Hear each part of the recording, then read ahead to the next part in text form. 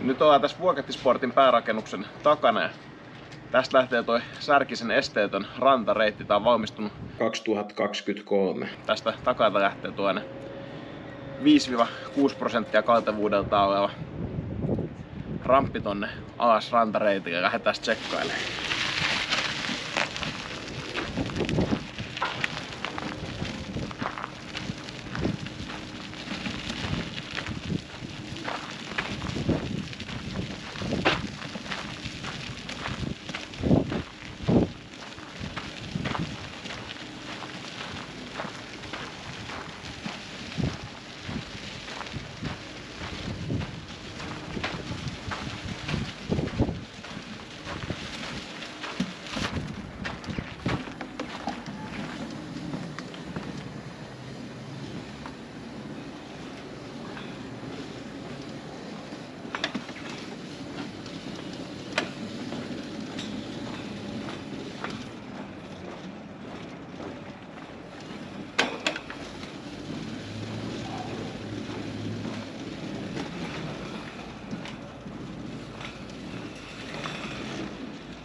Tässä on tällaisia komeita tasanteita, missä mahtuu ohittamaan vaikka toista ja sitten vaikka levähtämään varsinkin ylöspäin tuuessa.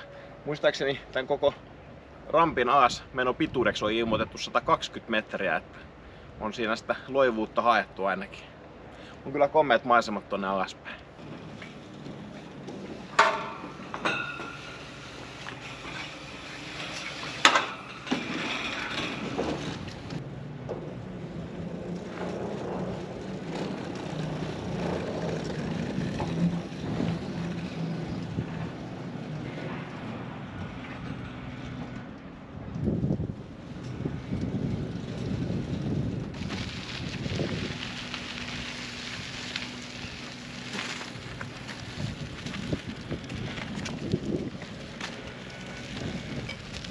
Nyt ollaan täällä alhaalla. Taakse jäi toi ramppia. Tää reitti on tällainen 5 metriä leveä ja ne sanoo, että murskarakenteinen ja kivipohjapintainen. Tää on kyllä aika kovaa tällaista materiaalia siihen nähden, että ei ole asfaltia, että tällaiseksi luontoreitiksi aika hyvä mennä pyörätuolilla. Tää reitin varrella ollaan ilmeisesti jossain vaiheessa myös rakentamassa jonkinnäköistä esteetöntä melontalaituria.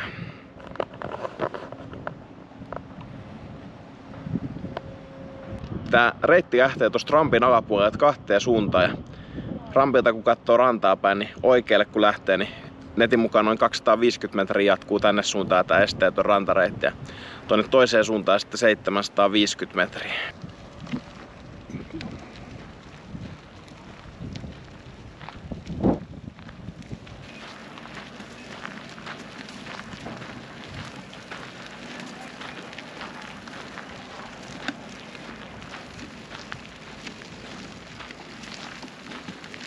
Tosiaan aika helppo on kelata tää reitti tässä, että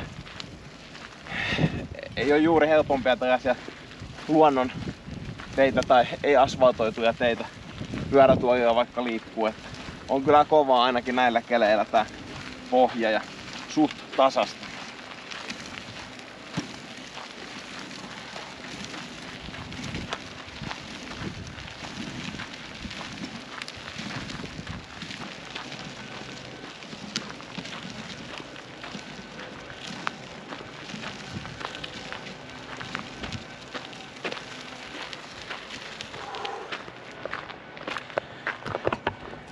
Mä veikkaan, että nyt tää oikealle kulkeva 250 metriä on aika lailla kuljettu, että tuossa nyt muutama kymmenen metri menee vielä tonne eteenpäin, mutta tästä on myös tällainen nousu tonne sivulle ylös.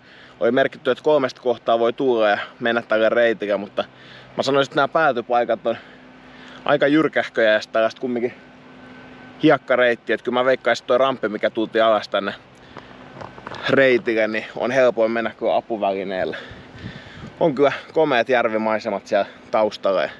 Kaunis kesäpäivä varmaan. Tässä aamupäivällä on nyt joku ehkä 24 astetta lämmintä, niin kelpaa. Nousumetrejä on jollain sivulla tällä sivulle merkitty 9 ja laskumetrejä 6, että koska ne on erilaiset, niin en sitten tiedä, että vaikuttaako se, että mistä suunnasta tulee tälle vai miten, mutta aika tasasta on ja onko se sitten ihan jopa tuolta ylhäältä asti, että tuo ramppi mukaan otettuna. No siitä en ole varma, mutta kun googletat tätä rantareitin nimeä ja laitatte vaikka Vuokatin nettisivut sieltä auki, niin sieltä löydätte kyllä lisätietoja tästä reitistä. Mäkin on vaan niiden faktojen varassa. Nyt kuljetaan tästä rampeelta toiseen suuntaan, mihin oli tää 750 metriä.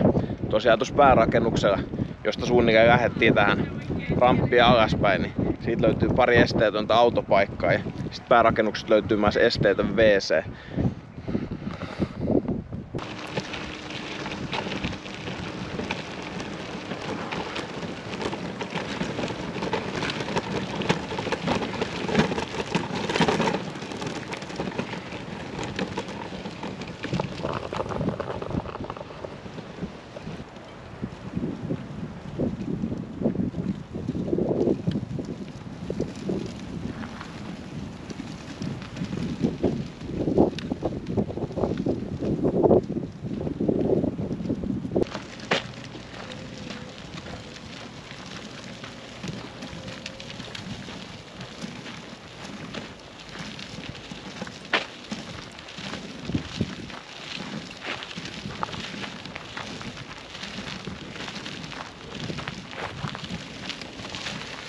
Siinä tuli varmaan tämän reitin kovin nousu, jos ei noita päätyjä lasketa, jota ei ole pakko mennä ylös, kun voi mennä sieltä rampilta. Että siinä saattaa tarvita avustajaa tai kaveria, mutta eikä tietysti ole pakko tuoda tänne asti myöskään, että voi kääntyä tuossa tasaisella rantareitillä ennen tätä pientä näppylää, joka ei, nyppylää, joka ei varmasti näyttänyt GoProssa miltään, mutta kyllä siinä vähän saa tehdä töitä.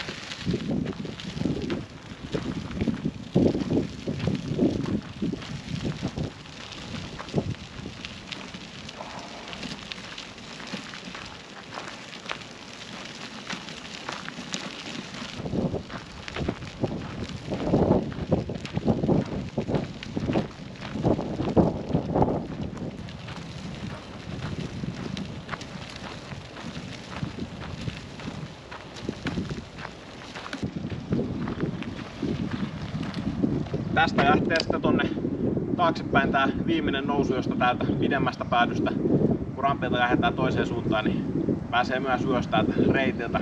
Eilen kun kävin tutustumaan vähän tähän reittiin, niin kelasin kyllä sen ylös. Ainakin meikäläisen kun kyllä siinä vähän sai tehdä töitä, että veikkaisin, että se rampi on helpompi sieltä varmaan palataan tänään myös ylös, mutta tää päätyy sitten tonne asfalttitielle lähelle noita Vuokatti Sport Apartmentin asuntoja.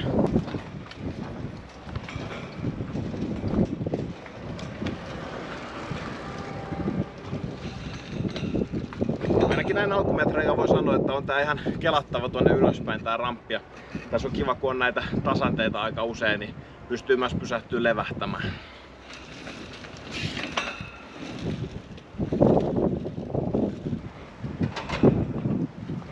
Että eilen kun kävin tutustumassa noihin tiereitteihin, niin voi sanoa, että tämä ramppi on ainakin huomattavasti kevyempi tapa mennä ylös. Niin jos tuutte Särkisen rantareittiin tutustumaan, mitä suosittelen, niin kannattaa käyttää ramppia. –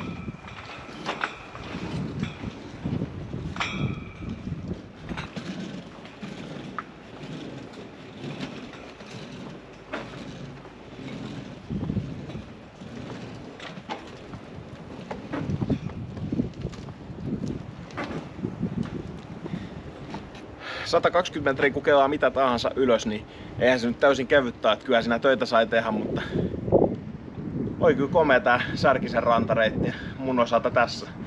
Suosittelen tutustumaan, jos käy Vuokatissa tai näillä suunnilla. Nyt on tullut noustu tänne Vuokatin vaaralle autolla. Tuossa 180 metrin päässä on virallinen parkkipaikka, mutta joku tuollainen nettisivu näytti, että tähän ylös asti voi tähän tasanteelle jatkaa sitten vaikka pyörätuolin käyttää, vaikka tässä on virallista esteetön paikkaa merkittykään. Tuossa taustalla on tuollainen esteettömäksi mainostettu näköala tasanne. Lähdetään kohta katsoa millaiset maisemat siellä on. Tässä on etu, etupuolellakin pääsee katsoa komeita maisemia. Tuossa on mäkihyppy torniin vieressä ja Taavella tuossa sivussa on laskettelessa ainakin kahviota muistaakseni, kun täällä on tuhkeutuu laskettelemassa.